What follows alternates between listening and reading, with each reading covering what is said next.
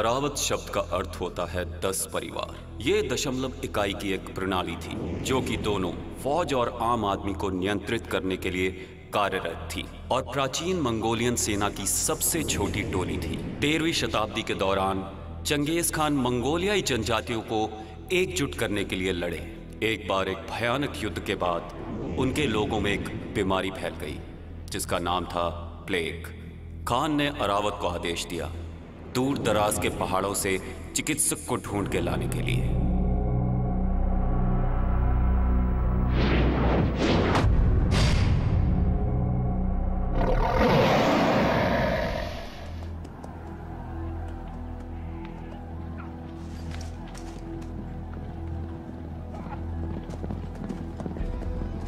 प्रणाम महाराज।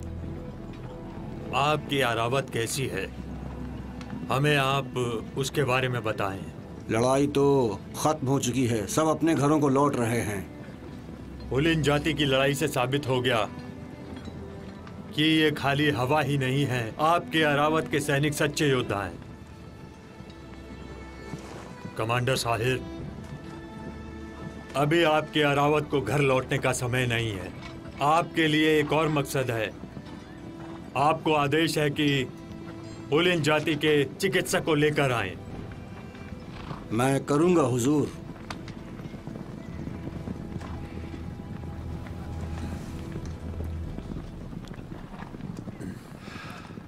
खान के आदेश का पालन कीजिए।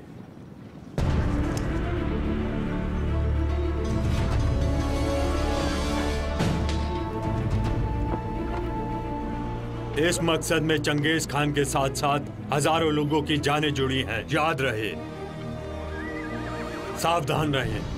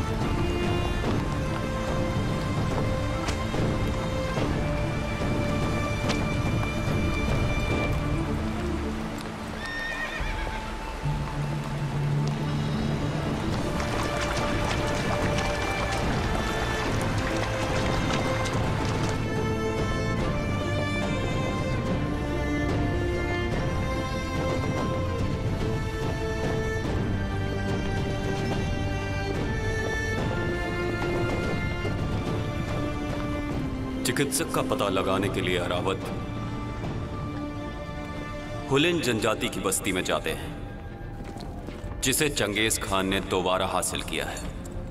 विरोधी हुलिन नेता अभी भी सक्रिय है इस खतरनाक पहाड़ी और जंगल में। अरावत के लिए आगे क्या है?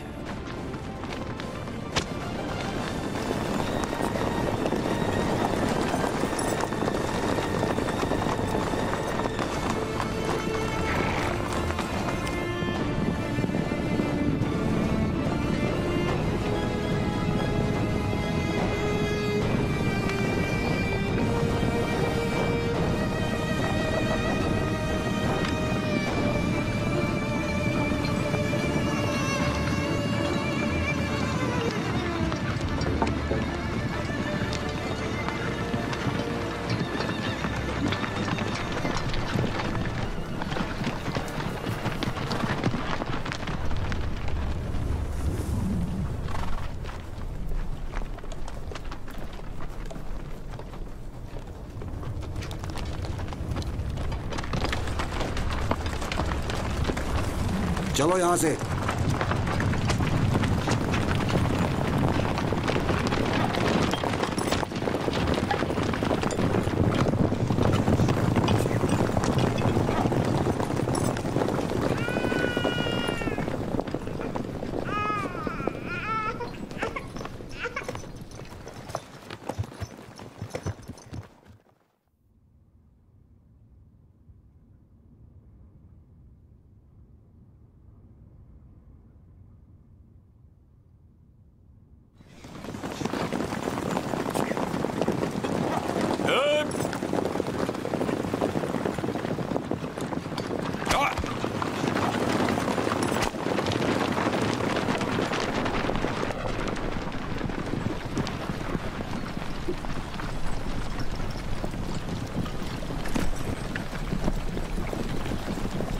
टुकड़े को ध्यान से देखो। तुम मेरे पीछे आओ।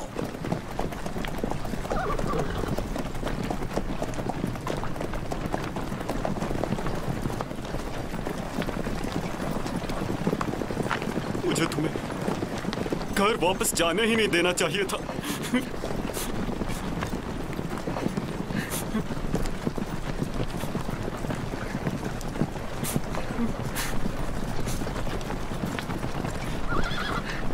मेरा बच्चा मेरा बच्चा कहाँ है? मेरा बच्चा कहाँ है?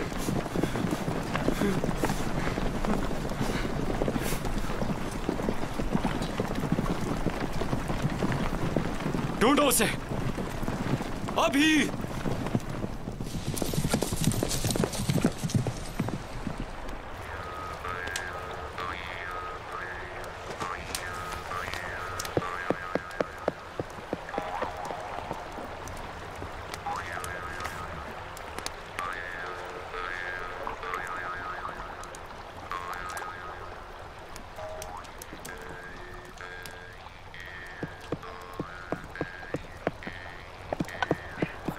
दूर रहो मुझसे मुझसे दूर रहो।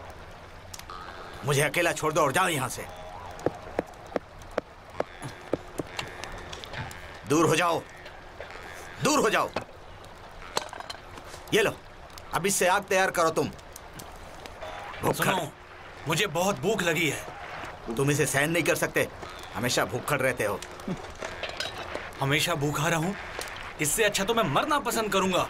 अगर मैं तुम्हें यह दे दूँगा तो बाकी लोग क्या खाएँगे? तुम मुझसे दूर जाकर बैठो। तब तक तुम आराम से बैठकर चाय पी लो। लो।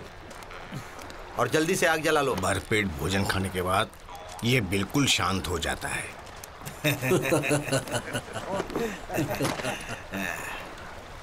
एक बार मैंने उससे उसका मनपसंद खाना पूछा। उसने कहा जो मेरा पेट भर दे वो ही मैं खाना चाहूँगा। बिल्कुल सही कहा उसने। जो पेट भर दे वो ही अच्छा है।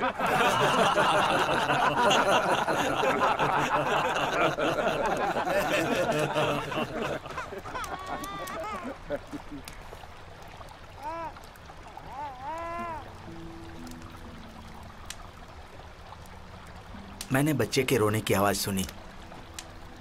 और जब मैं वहाँ गया तो यह बच्चा मुझे मिला। इसे वहाँ छोड़ कर आने का मेरा मन नहीं किया। तो मैं इसे लेकर आ गया।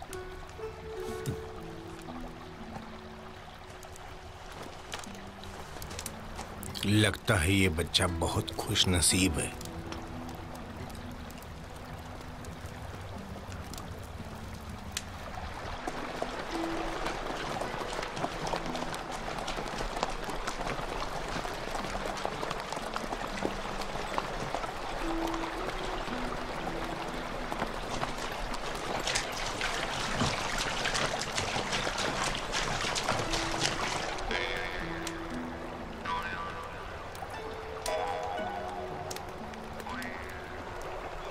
बच्चे को पालना आसान नहीं है।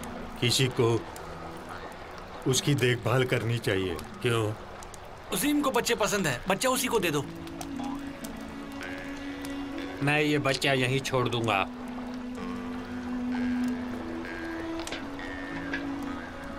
सिर्फ़ एक भेड़ की पूंछ ही है जिसे चूस सकते हैं। बच्चे को उजीम को दे दो।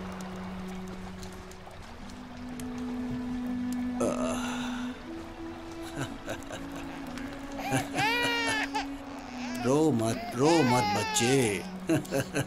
शायद ये बच्चा बड़ा होके नायक बनेगा। चुप हो जा बच्चे चुप हो जा। हिकर। मत। आखिर आपने मुझसे सलाह क्यों नहीं ली? अपने साथ इस बच्चे को उठाकर यहाँ पर लाने से पहले हम लोगों के पास खुद ही खाने के लिए कुछ नहीं है।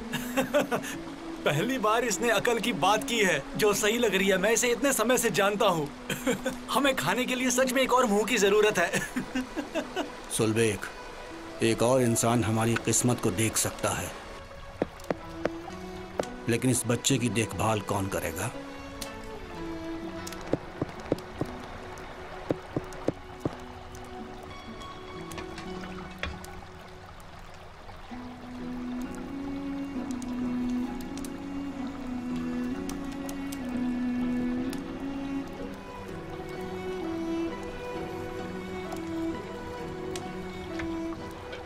तरफ़ मत देखो। मैं नहीं जानता क्यों मुझे हमेशा महिलाओं की तरह काम करना पड़ता है। बुक्कड़ है। आप सतर्क और सज्जन इंसान हैं। कुछ भी हो आप इसे ले जाओ। मुझसे उसकी देखभाल की उम्मीद मत करो। मैं बिल्कुल भी उसकी देखभाल नहीं कर सकता। तुम लोग अपना देख लो। क्या मैंने कुछ गलत किया पिताजी? मेरी एक बात हमेशा याद रखना। किसी का जीवन बचाना बहुत ही अच्छी बात होती है।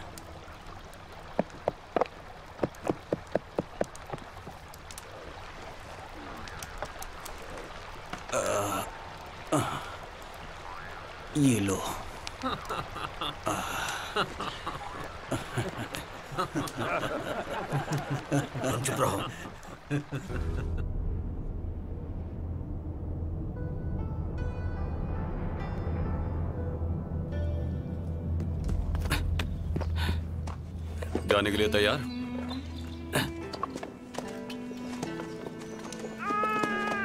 बच्चे को ले लो।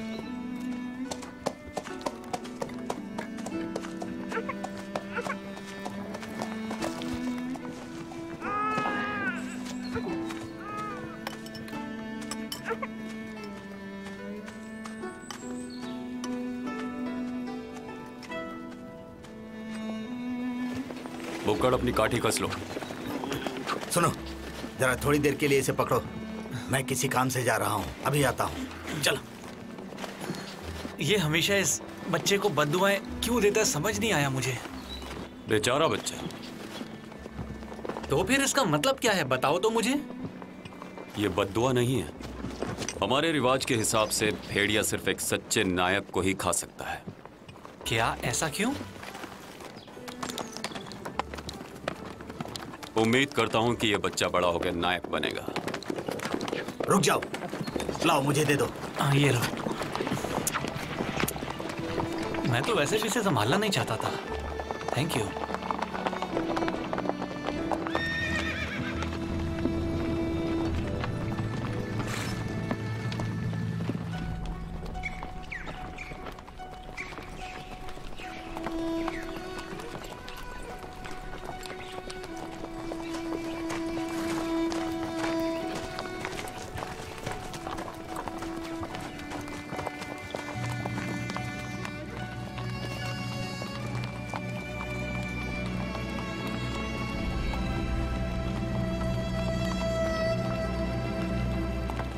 राख अभी भी गर्म है।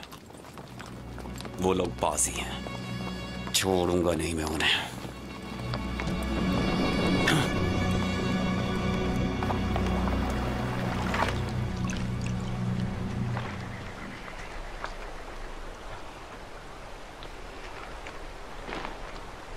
अरे सुनो मुझे बहुत भूख लगी है कुछ खाने को लाओ। मेरे पेट में चूहे दौड़ रहे हैं। तुम सच में खा खा कर मरने वाले हो।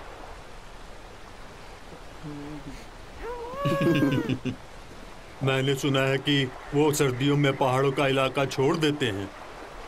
गर्मियों में आप में से कोई भी कभी भी नहीं उसको ढूंढ पाओगे। किसी को भी नहीं पता कि वो सच में किस जगह पर रहता है।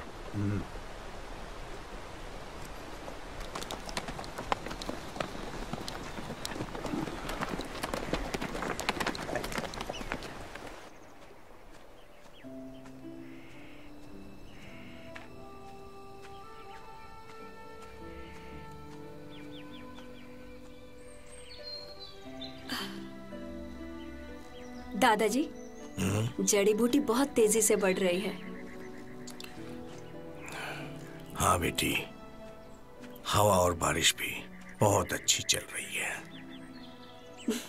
चलिए ना दादाजी कुछ और जड़ी बूटियाँ इकट्ठी करते हैं। अपनी हार के बाद हुलिन के नेता हुकुमतर ने पश्चिम की यात्रा करने की योजना बनाई। लेकिन सालों की लड़ाई के बाद वो बीमार पड़ गए। केवल चिकित्सक ही उन्हें बचा सकते थे।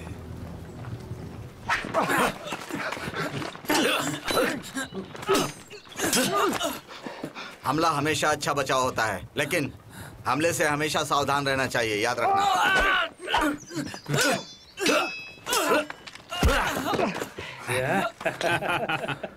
बहुत बढ़िया बहुत बढ़िया।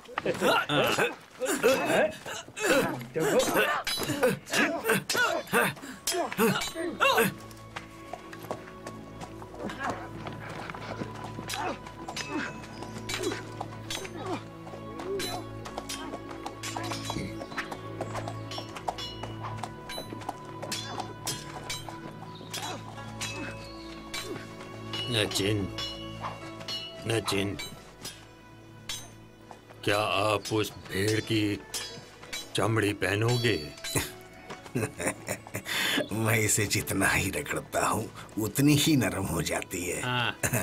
एक अच्छी तरह से रगड़ी हुई भेड़ की चमड़ी रेशम की तरह हो जाती जो है। इसको पहनेगा वो लंबे समय तक जीवित रहेगा। तुम्हारे दुआओं के लिए धन्यवाद। बुढ़ापे में तो नाती पोते ही सब कुछ होते हैं। चलो अब जल्दी से अपना मकसद पूरा करते हैं और जल्दी ही सब अपने घरों को लौट चलते हैं। हाँ मेरे हुजूर जैसा आप कहें।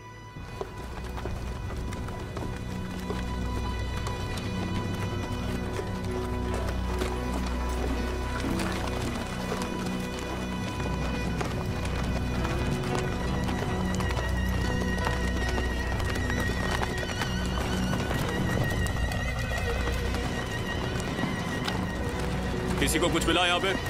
बाहर छोड़ दिया है।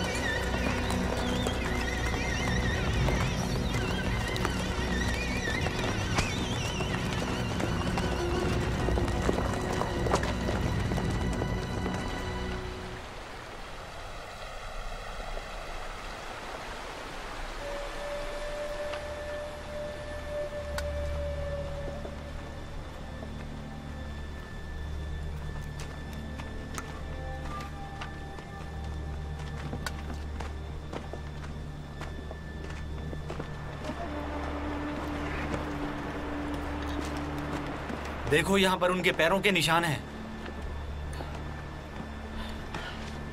शायद ये हिरन के पैरों के निशान हैं।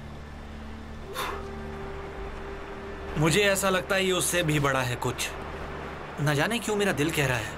हम एक असली दावत खा सकते हैं। मैं यहाँ वहाँ देखता हूँ। तुम पानी का इंतज़ाम करो।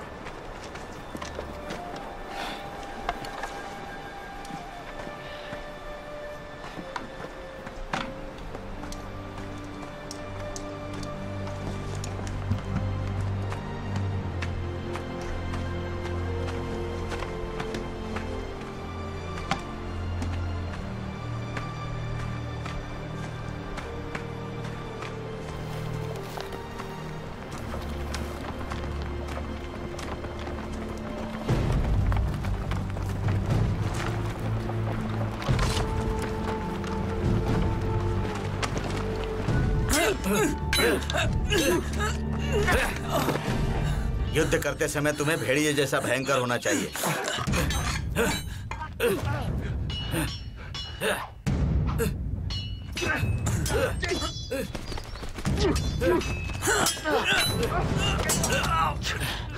और तेंदुए की तरह तेज होना चाहिए।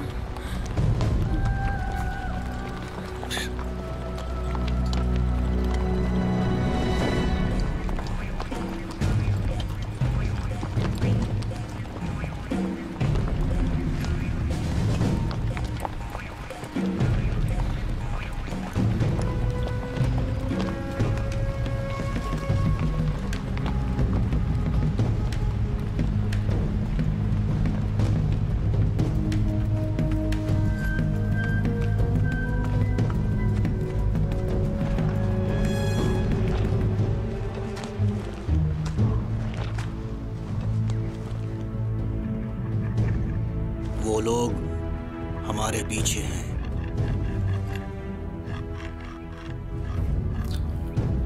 मुझे ऐसा लगता है वो सब लोग हमारा पीछा कर रहे हैं। शायद इस बच्चे की वजह से तुम्हें क्या लगता है?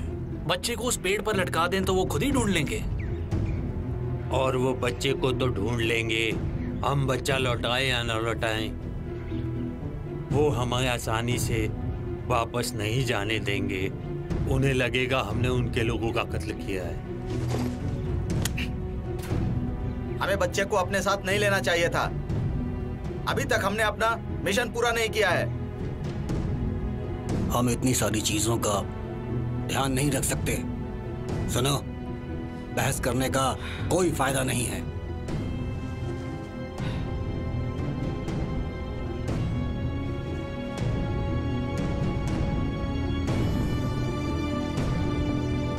बस चुप रहो और चलते रहो। पवित्र आकाश देवता हमारी रक्षा करेंगे।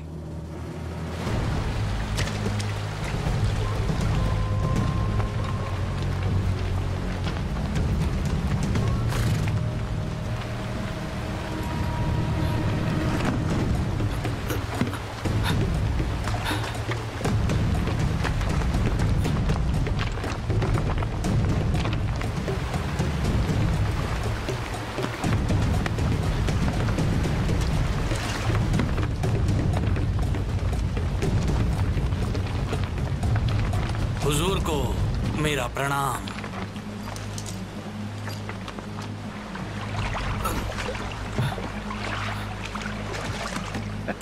आपके पिता हुकुमतुर बुद्धिमान व्यक्ति हैं। चिकित्सक को साथ लेकर जाने का मतलब है आकाश भगवान की जादुई दवाओं को बचाना। आपने अपनी यात्रा के दौरान कुछ अजीब देखा? कुछ भी तो नहीं। कि आपको कुछ परेशानी है? ऐसा लग रहा है। हम ज़्यादा सावधानी नहीं रख सकते। मेरा यह रहना खतरनाक हो सकता है।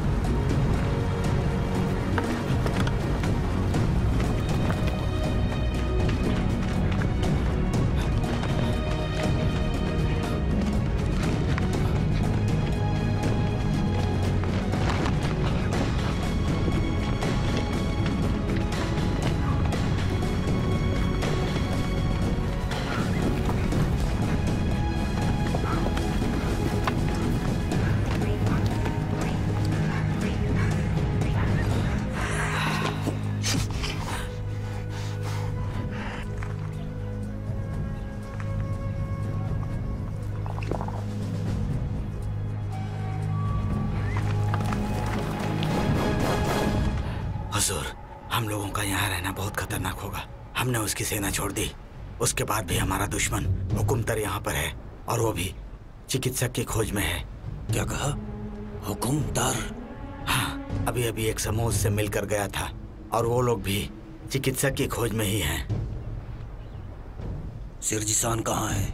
मुझे नहीं पता। हम नदी पर अलग हो गए थे। वो ज़रूर दुश्मन से छिप रहा होगा। ये दुनिया सच में बहुत छोटी है। हमने कभी भी हुकूमतर के यहाँ होने की उम्मीद नहीं की थी। हुकुमतर ने लगता है बच्चे के परिवार को मार दिया होगा। हुजूर चलिए हम लोग चिकित्सक को पकड़ते हैं। हमारे लिए यही ठीक रहेगा। नहीं ये नहीं कर सकते। तो क्या करें हुजूर? हम इसी तरह हाथ पर हाथ धरे बैठे रहें क्या? चलो देखते हैं कि पहले क्या होता है फिर सोचेंगे।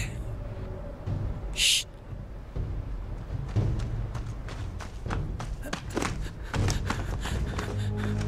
मेरे हुजूर वो चिकित्सक वहाँ पर रहते हैं। क्या वहाँ सच में चिकित्सक का ठिकाना है? जी हाँ वो ही है। अपना कवच पहन लो जल्दी करो।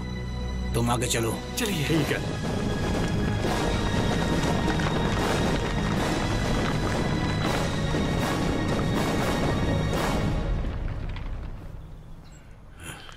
आपकी साँसें बता रही हैं कि आपकी तबीयत खराब है। इसलिए आपको आराम करना चाहिए और जल्दी से जल्दी अपनी तबीयत को ठीक कर लेना चाहिए। चिकित्सक जी मैं पहले भी आपको कई बार बता चुका हूँ। मैं शांत कैसे रह सकता हूँ जब मेरी जाति बिखर रही है रेत की तरह? उनका नेतृत्व करने वाला कोई भी नहीं है। ऐसी स्थिति में मैं क्या करूँ? हम सभी एक ही घास के मैदान में रहते हैं। हम सभी एक ही पूर्वज के वंशज हैं। एक दूसरे से लड़ने की ज़रूरत नहीं। हम सब आकाश देव के नीचे एकजुट क्यों नहीं हो सकते? क्या हमारा एक राष्ट्र होना ठीक नहीं होगा? मुझे सही रास्ता दिखाने के लिए कोई नहीं है। बस इसीलिए मुझे लापरवाही से जुआ खेलना पड़ता है।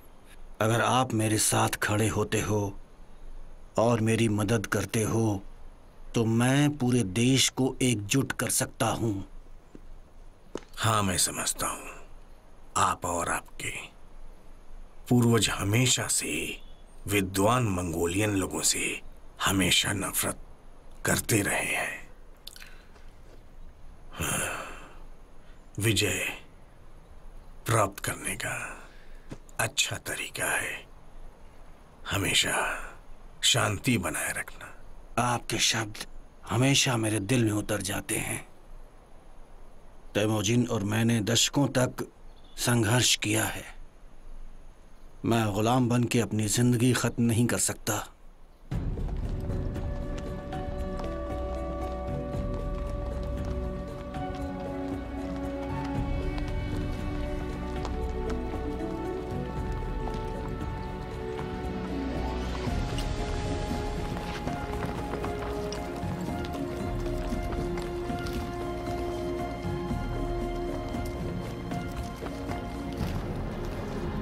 हुकमतर का बेटा हरखौर अरावत का पीछा कर रहा था, अपने बच्चे को बचाने के लिए और अपने लोगों का बदला लेने के लिए। अरावत चिकित्सक की तलाश में है और एक बड़े खतरे का सामना करने वाले हैं।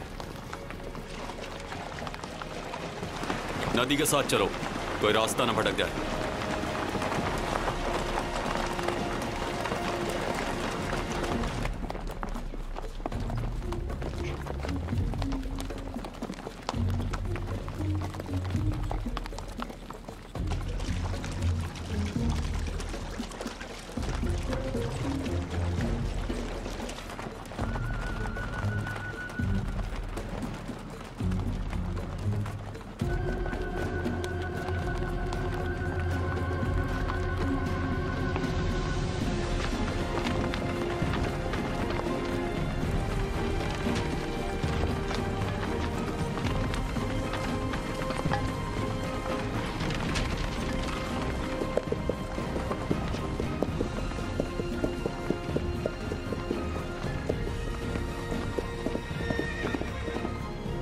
क्या तुम्हें वो लोग मिले। हुजूर! वो कहाँ है? हुजूर मैंने उन्हें खो दिया।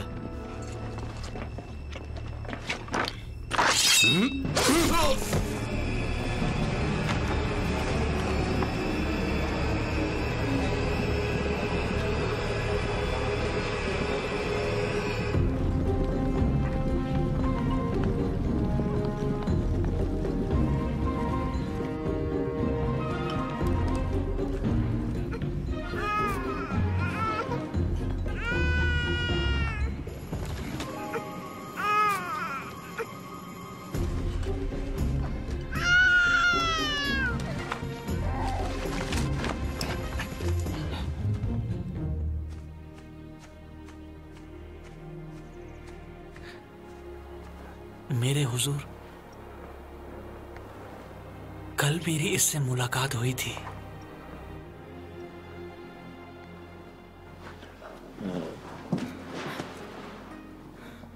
क्या कुछ तकलीफ़ है बेटी?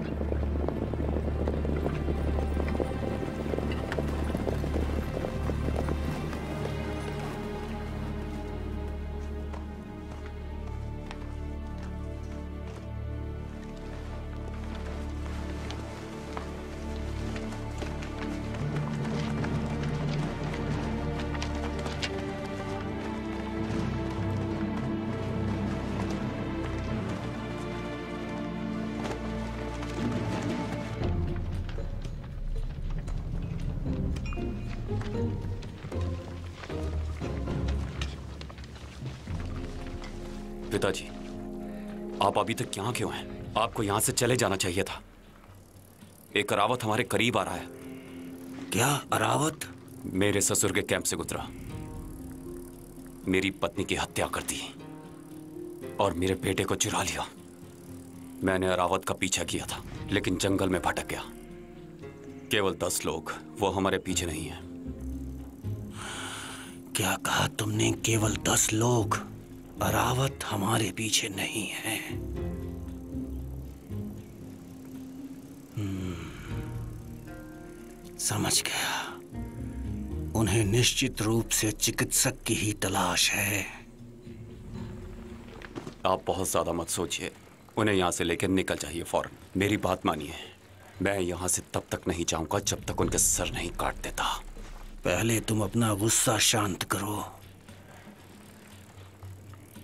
मेरी ज़िंदगी केवल चिकित्सक ही बचा सकता है, बच्चे। जीशान तक पहुँचने तक मुझे किसी भी हाल में अपने आप को ज़िंदा रखना ही होगा, क्योंकि वहाँ के राजा के साथ गठबंधन करके ही हम अपनी जमीनें वापस पा सकते हैं। अपने प्यारे देश के लिए मुझे ये करना ही होगा। जल्दी करो। अपने लोगों को बचाओ।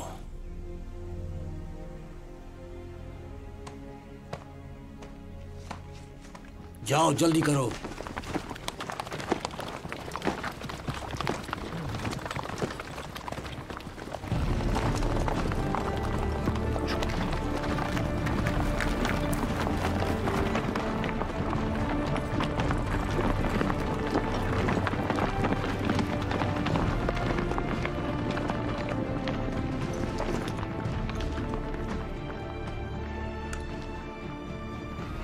बात सुनो। तुम्हें डरने की ज़रूरत नहीं। तुम्हारी सुरक्षा के लिए हम तैयार हैं। और हाँ सुनो। मैं खुशी से तुम्हारा ध्यान रखूँगा हमेशा। तुम्हें कभी कुछ होने नहीं दूँगा।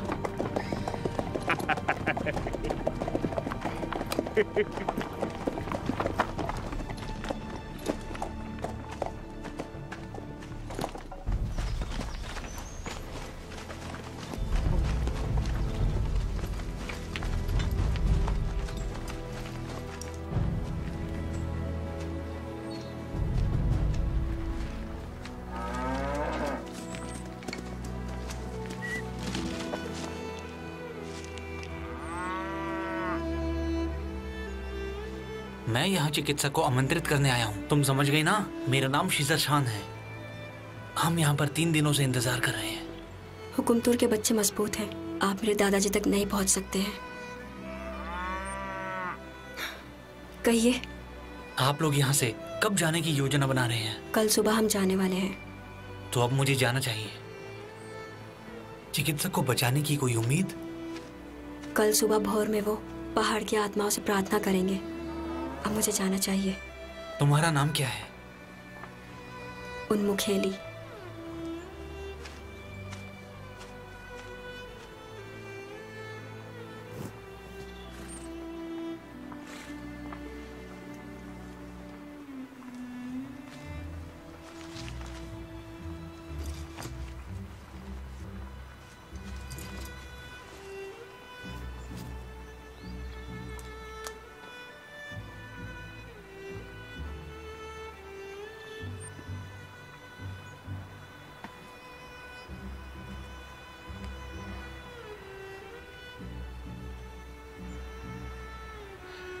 सुनिए क्या हम आज युद्ध करने वाले हैं?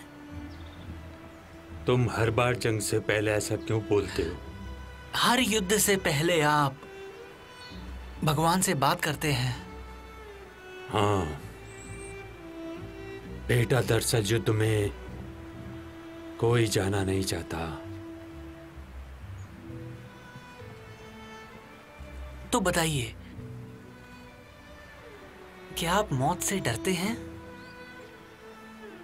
तुम अगर अपने मन से मौत का डर नहीं निकाल सकते तो तुम जल्दी ही मर जाओगे और तुम्हें सब भूल जाएँगे। एक नायक की मौत हमेशा याद रखी जाती है। हमारे सैनिकों को बिना डर के संघर्ष करना चाहिए। मैं शहीद होने से बिल्कुल भी नहीं डरता हूँ। तो आप किस बात से डरते हैं? बीमार होने से, घायल होने से या किसी पर बोझ बनने से मुझे डर लगता है।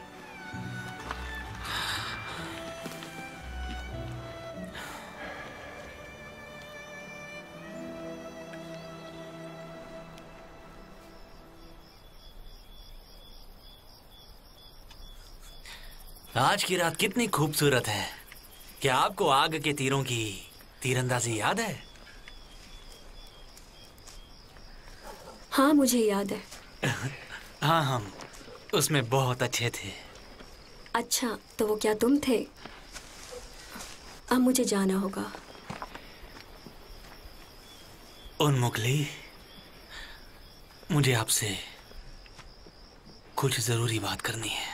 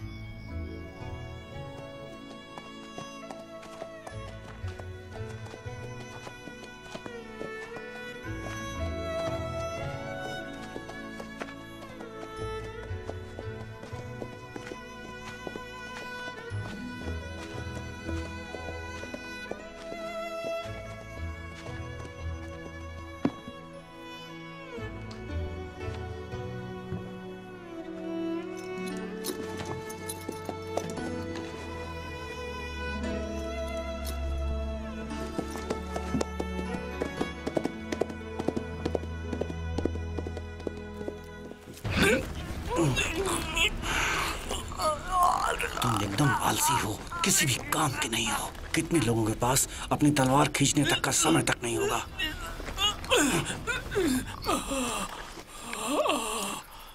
दुश्मन हमारा पीछा कर रहे हैं और तुम सो रहे हो। एतर मैं बस अपनी माँ के बारे में सोच रहा था। पता नहीं कब आँख लग गई। ये सोने का वक्त नहीं है जाग जाओ।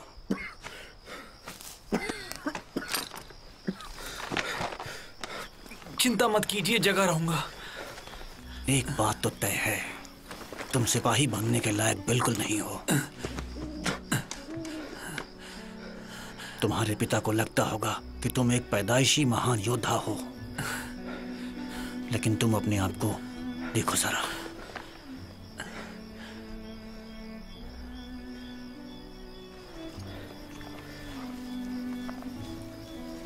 मैं बहुत छोटा था। मेरे पिताजी युद्ध में लड़ते लड़ते मारे गए थे। मेरे सेना में भर्ती होने पर मेरी माँ बहुत दुखी हुई। उन्हें डर था कि वो मुझे कभी भी नहीं देख पाएँगी। कभी भी नहीं। ऐतर मुझे भी डरा कि मैं उन्हें कभी नहीं देख पाऊँगा।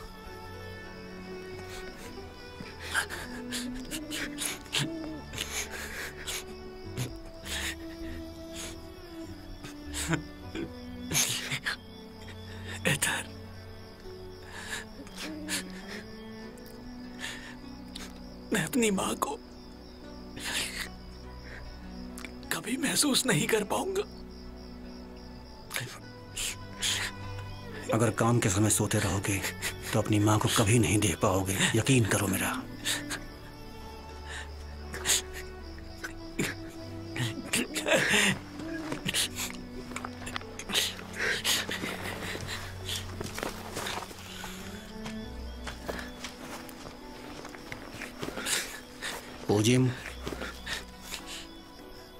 साथ माँ का आशीर्वाद है वो कभी नहीं मरता।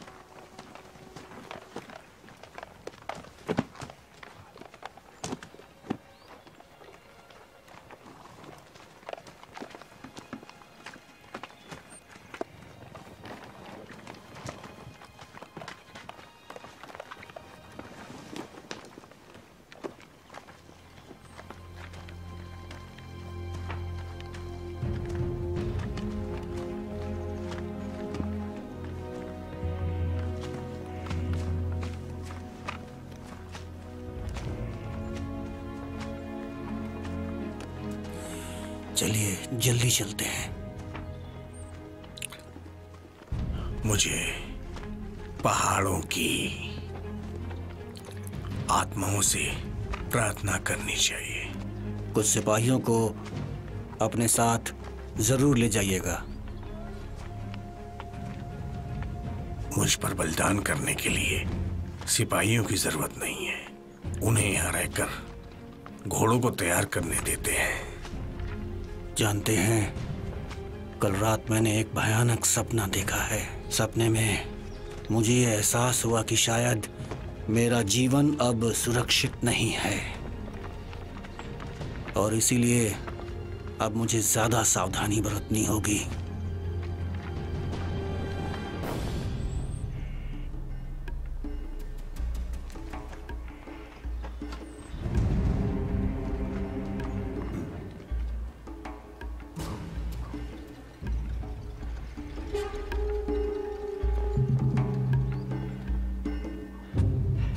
क्यों मेरे बच्चे?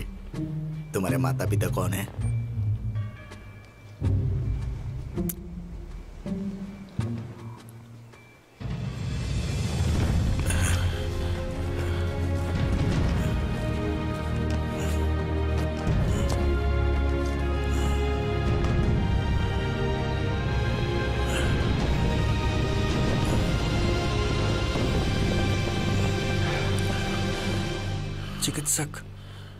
चिकित्सक कौन हो तुम? बोलो। अगर मेरी वजह से आप डर गए तो मैं माफ़ी चाहता हूँ। मैं एक सैनिक हूँ। चंगेज खान के आदेश पर आपसे मिलने आया हूँ।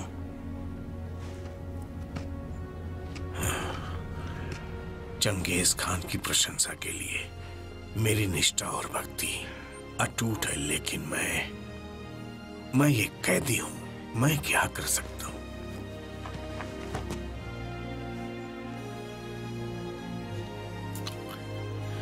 मैं मजबूर हूँ। मैं कुछ नहीं कर सकता। तुम उससे मेरी तरफ़ से माफ़ी मांग लेना।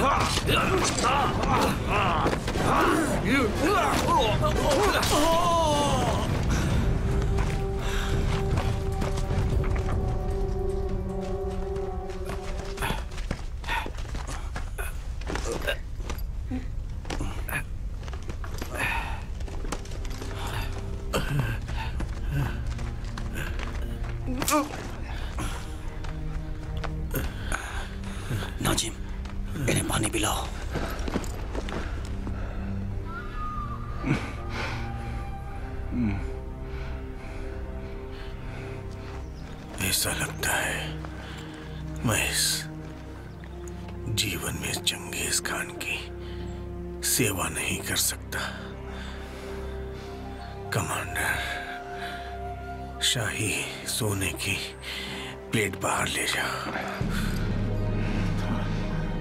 शाही सोने की प्लेट की कसम खाओ। कि आप मेरी अंतिम इच्छा पूरी करने में मेरी मदद करोगे। देखिए आप बिल्कुल फ़िक्र मत कीजिए। मैं आपकी अंतिम इच्छा ज़रूर पूरी करूँगा। आप मेरी पोती की जान बचाओ। मेरी पोती की पोती। मेरी पोती की पोती। चिकित्सक चिकित्सक।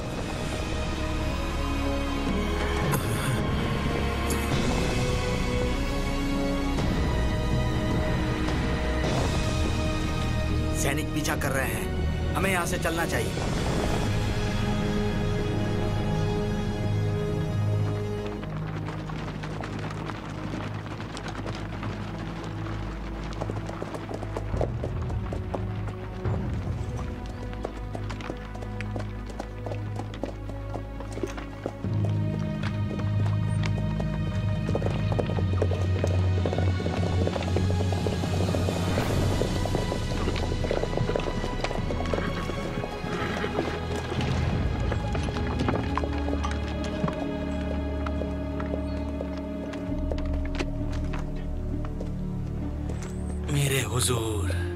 चिकित्सक मर चुके हैं।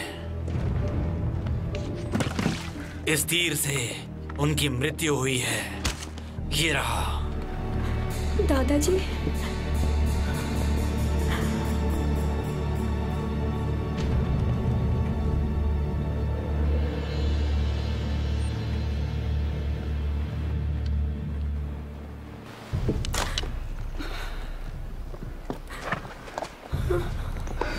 उन्मुखली मैं तुम्हारे दादाजी की रक्षा नहीं कर पाया। मुझे उनके लिए वहाँ रहना चाहिए था। उन्हें बचाने के लिए वहाँ रहना चाहिए था।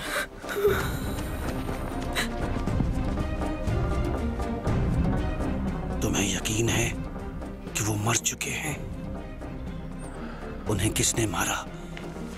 हर घोर कहाँ है?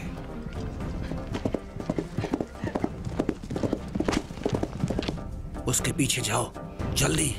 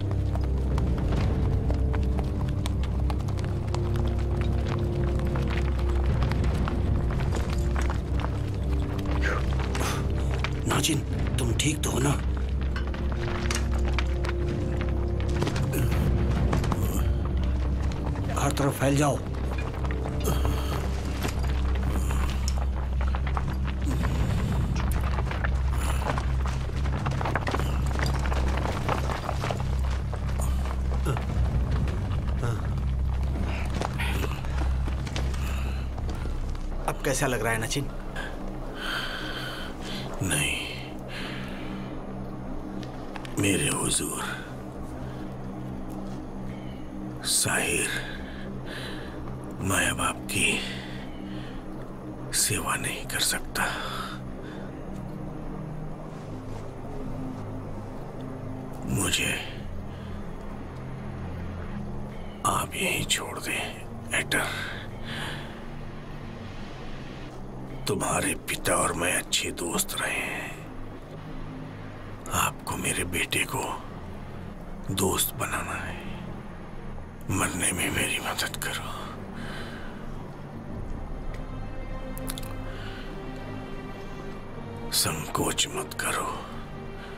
समय नहीं है।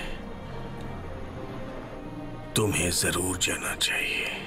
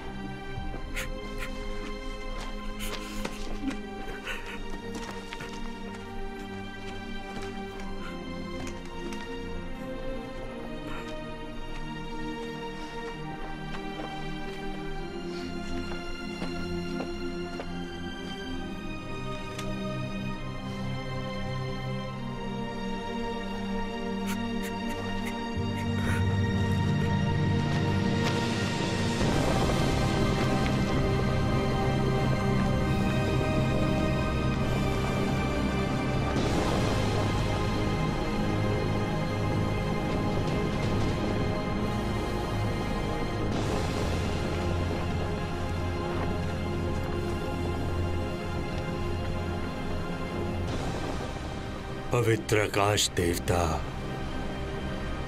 प्रिय पूर्वजो कृपा हमारे नायक को अपनी बाहों में स्वीकार करें।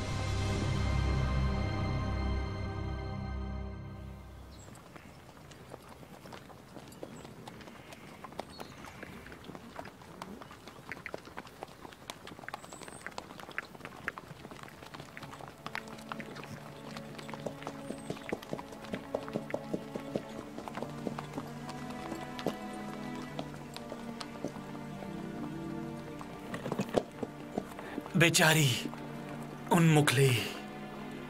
चिकित्सक के हथियारे दूर नहीं है। मैं उनका बदला लूँगा। किसी को भी नहीं छोड़ूँगा। जैसा मैं करूँगा, बेचारा नाचन।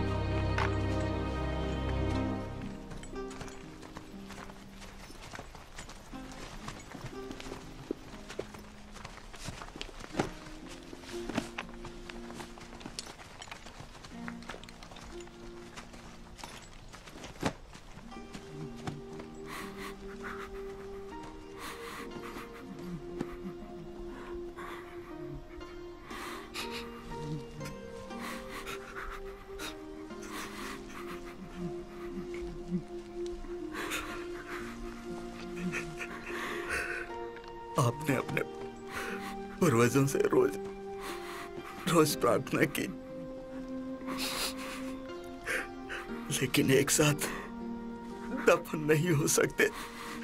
जंगल में हमें अकेला छोड़ दिया।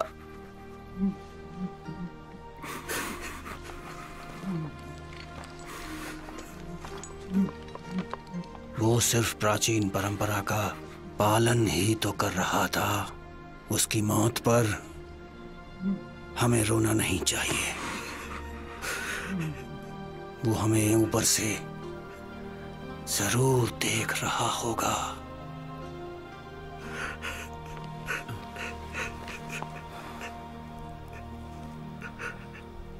हमारा मकसद चिकित्सक की सुरक्षा करना था। अब हम अपने महान सेनापति का सामना कैसे कर सकते हैं? चिकित्सक की पोती का अपहरण हो गया है। आप करना क्या चाहते हैं?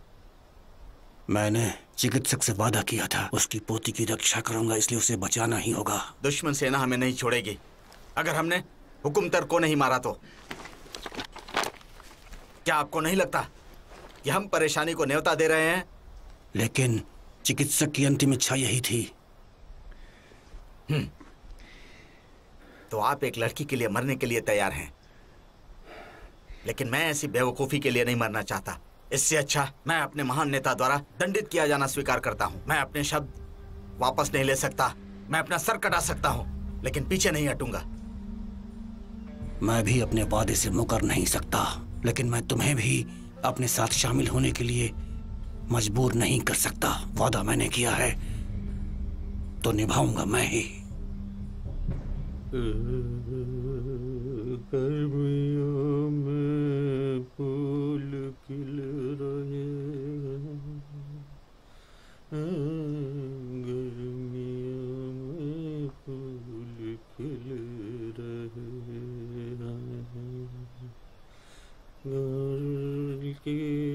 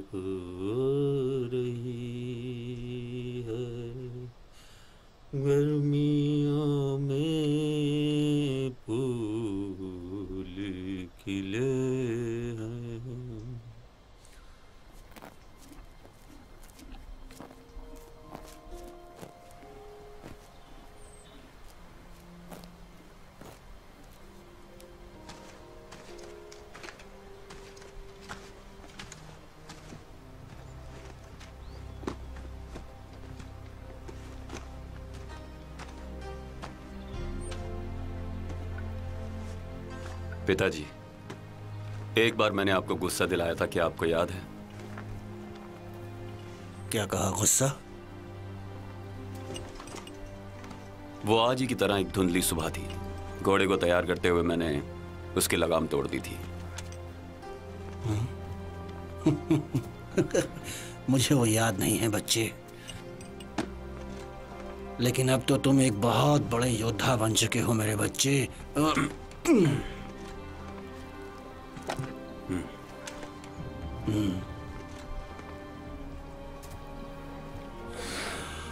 इस भेड़ की चमड़ी को नाचिन के पोते को दे देना। समझ गए?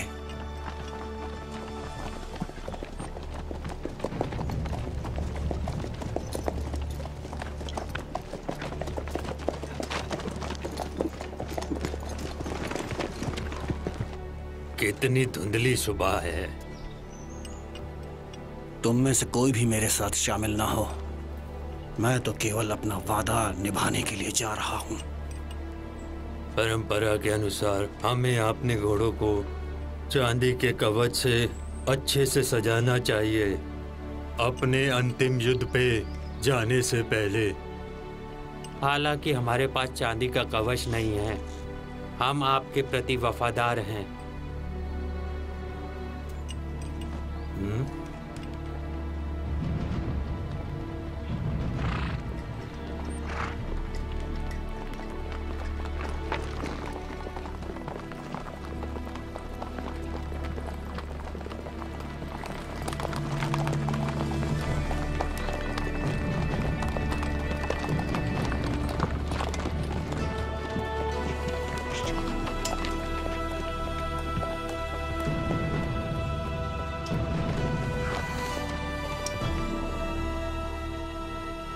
ज़िंदा हो या मुर्दा लेकिन हम सभी आपस में भाई हैं। हमें नाचिन के वंशजों का ध्यान रखना चाहिए। यही हमारा धर्म है। अब तो मकसद पूरा करने के बाद ही।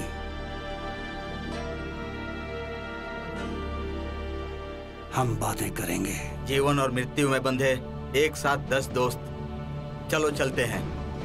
हाँ चलो। चलो चलते हैं। चलो। चलो। चलो चलते हैं। चलो चलते हैं।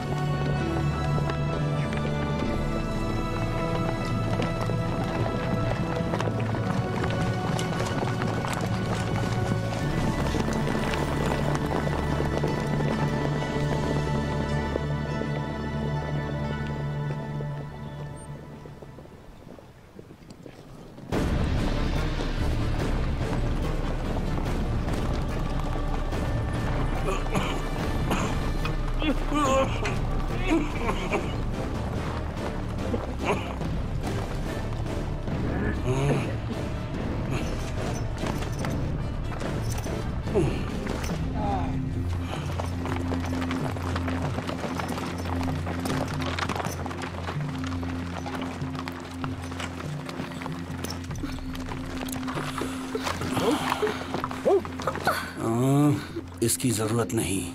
बैठ जाओ। बैठो। तुम्हारे दादाजी की मृत्यु दुर्भाग्यपूर्ण थी। वो हमेशा कहा करते थे कि तुम बहुत खास हो उनके लिए।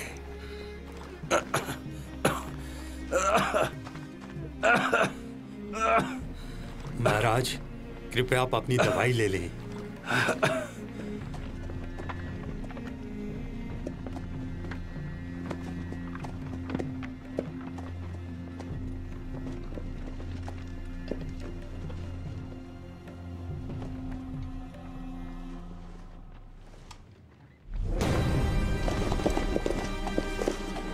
इस तरफ़ वो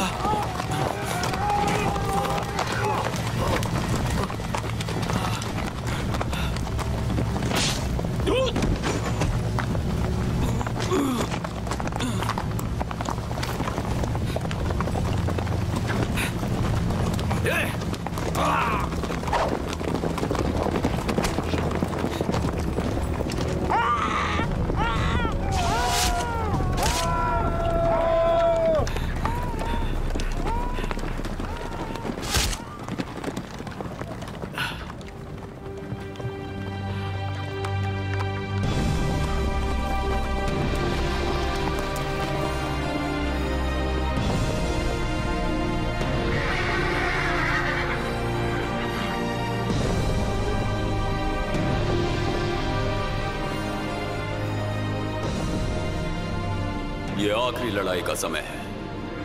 मैं अपने घोड़ों को चांदी के कवच में देख सकता हूँ। मैं एक नायक बनूँगा। मैं एक नायक बनूँगा।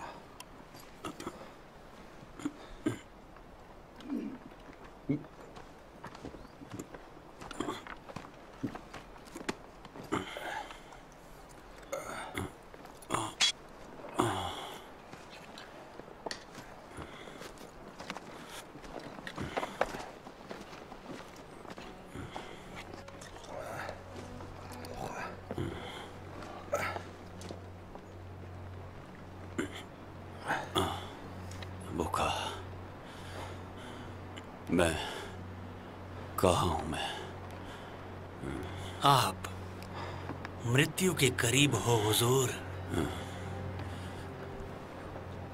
तुम क्या कह रहे हो? तुम गुलाम हो। मैं अब तुम्हारा गुलाम नहीं रहूँगा।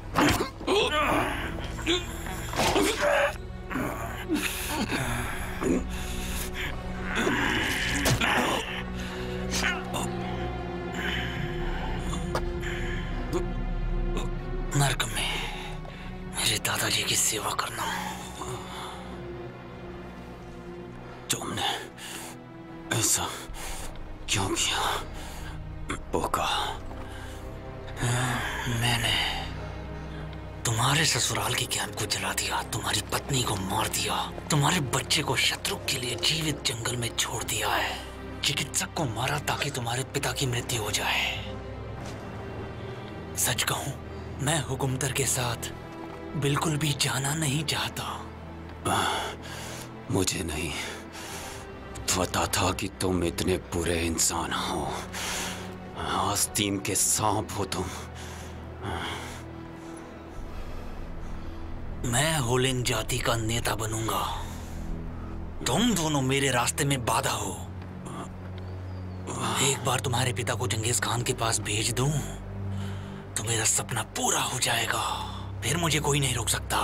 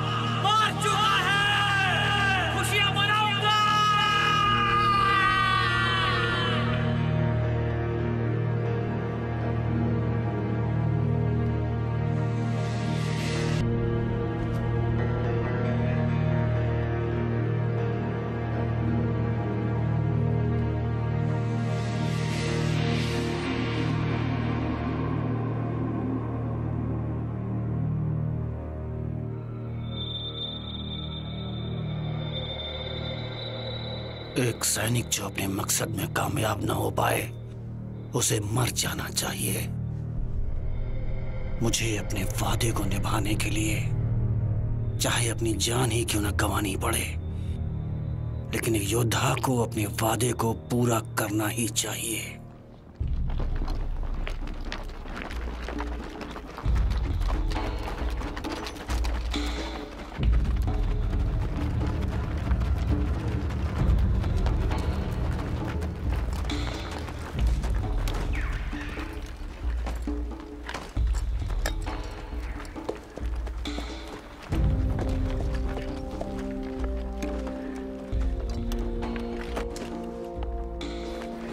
हुजूर मेरे पास एक बुरी खबर है। क्या हुआ? क्या सारे लोग मारे गए? हुजूर आपके नुकसान के लिए मुझे बहुत खेद है। सुनो पास आओ मेरे। पास आकर बताओ। मेरा बेटा कैसे मारा गया, ये बताओ मुझे। मेरा पुत्र। आपका पुत्र एक सच्चा और बहादुर नायक था। युद्ध में उनकी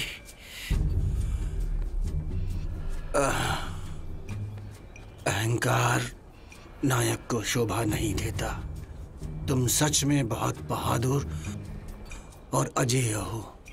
मुझे तुम्हारी बहादुरी और तुम पर बहुत गर्व है।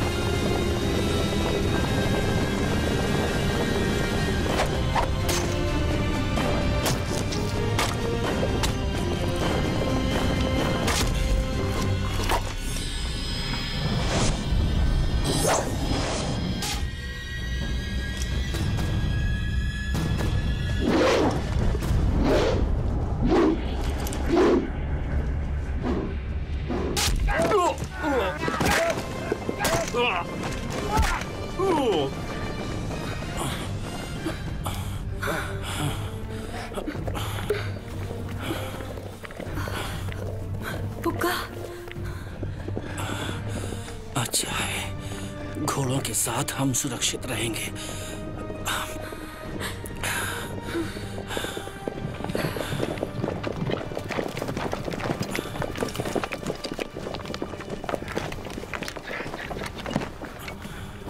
ये तुमने अच्छा किया।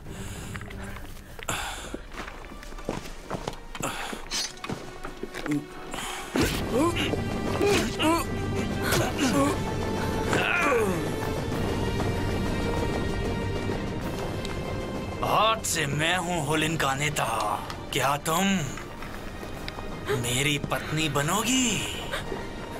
क्यों कर रहे हो? बुक्का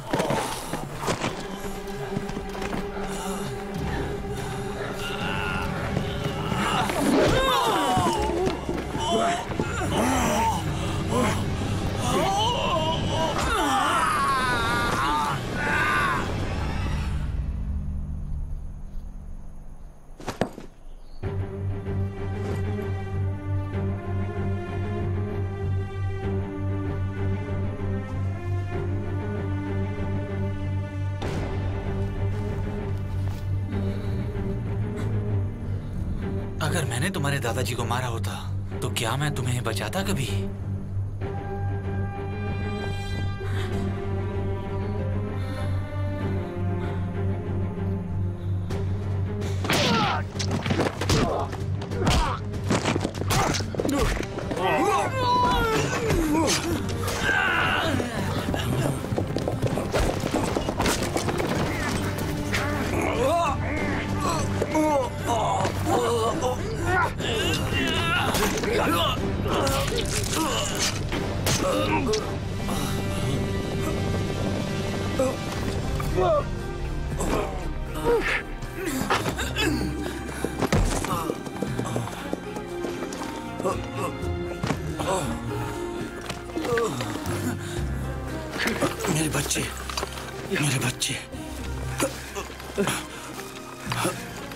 मेरे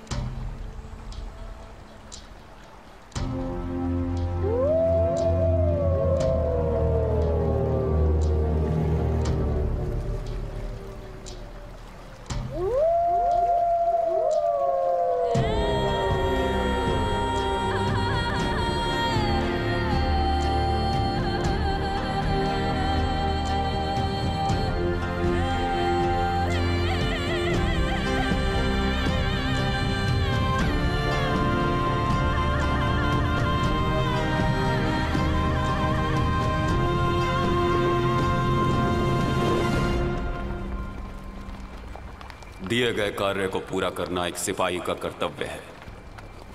जिस तरह खून और दूध कभी एक साथ नहीं मिल सकते, उसी तरह कभी कभी कर्तव्य इंसान के स्वभाव के साथ संघर्ष करता है। ऐसी स्थिति में अरावत सैनिक केवल वफादार योद्धा ही नहीं, दयालु लोग भी हैं।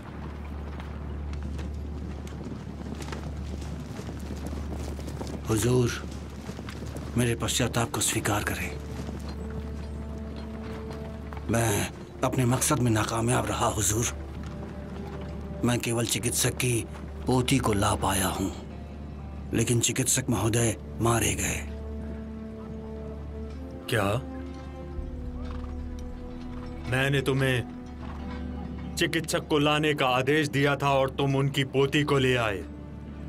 जी हुजूर। मैं सच बोल रहा हूँ, हुजूर। चिकित्सक की मौत मेरी गलती है, और मैं इसकी पूरी ज़िम्मेदारी लेता हूँ। जो होना था वो सब तो हो गया। अब आपको दंडित किया जाना चाहिए। प्राचीन कानून के अनुसार, अपना झंडा लौटाओ, और अपना जीवन समाप्त करो। अपने अरावत के सैनिकों को यहाँ से विदा कर दो। सही कहा हुजूर। मैं आपकी सजा को स्वीकार करता हूँ। रुकिए। उन्हें माफ़ कर दीजिए। साहिर ने अपने बेटे और सैनिकों की कुर्बानी दी मेरे दादाजी और मुझे बचाने के लिए। अगर आप इस वफादार योद्धा को सजा देंगे बिना सच्चाई जाने तो आपको बहुत पछतावा होगा पूरी ज़िंदगी भर। उन्मुखली चुप रहो। मैंने आपके आदेश का पालन नहीं किया। मुझे सजा मिलनी ही चाहिए। मुझे मौत स्वीकार है। आप गलत हैं। आपका कोई दोष नहीं है। आप एक बहुत महान योद्धा हैं। आपने दुश्मनों से मेरी जान बचाई है। कृपया मुझे रहम की भीख दें। कमांडर, इन्हें माफ़ कर दीजिए। कमांडर, कृपया इन्हें माफ़ कर दीजिए। मेरे दादाजी ने मुझे वो सब सिखाया है जो वो जानते थे। मैं अपने दादाजी की जगह ले सकती हूँ साहिर को माफ़ करे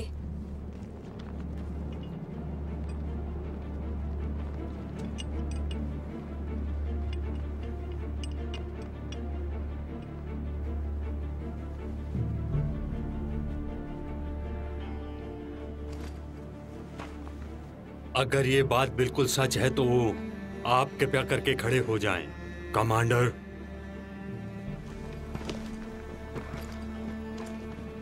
आप मुझसे सजा मांगने आए थे।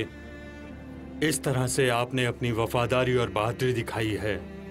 मैं आपके इस जज्बे की तहे दिल से इज़्ज़त करता हूँ।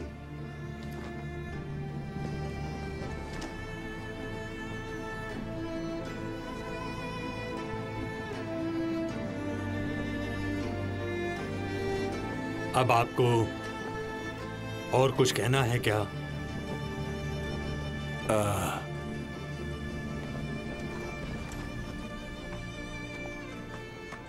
हुजूर मेरी गुजारिश है कि आप इस बच्चे को मुझे गोद लेने की अनुमति दें। आप गोद ले सकते हैं।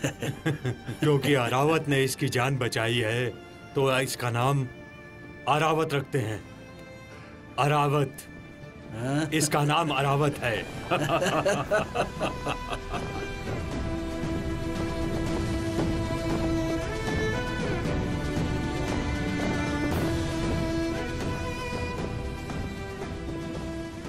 ये अरावत की कहानी है। मंगोलिया के घास के मैदानों पर अरावत की ऐसी अनगिनत कहानियाँ हैं। उन्होंने हमारे महान इतिहास में योगदान दिया है।